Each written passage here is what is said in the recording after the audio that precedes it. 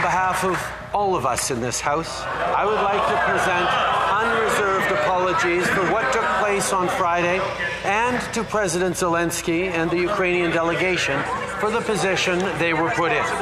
For all of us who were present to have unknowingly recognized this individual was a terrible mistake and a violation of the memory of those who suffered grievously at the hands of the Nazi regime.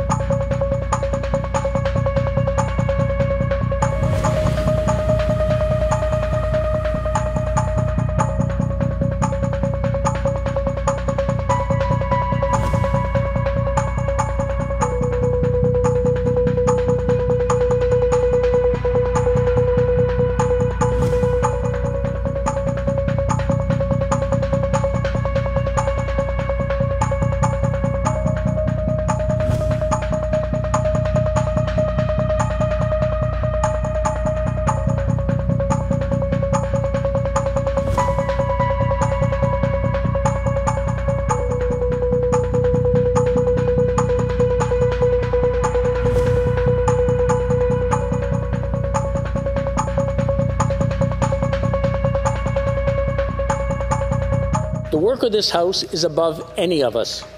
Therefore, I must step down as your Speaker. I reiterate my profound regret for my error in recognizing an individual in the House during the joint address to Parliament of President Zelensky.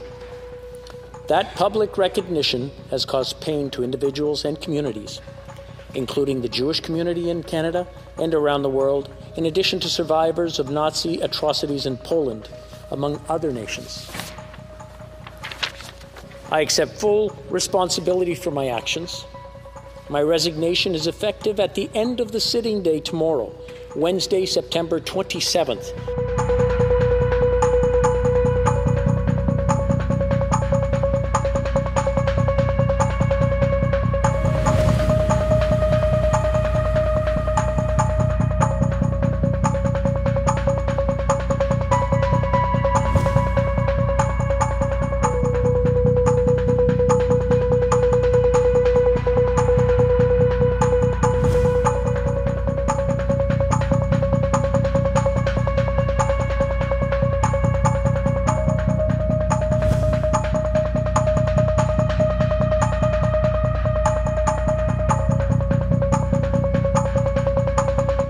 It is extremely troubling to think that this egregious error is being politicized by Russia and its supporters to provide false propaganda about what Ukraine is fighting for.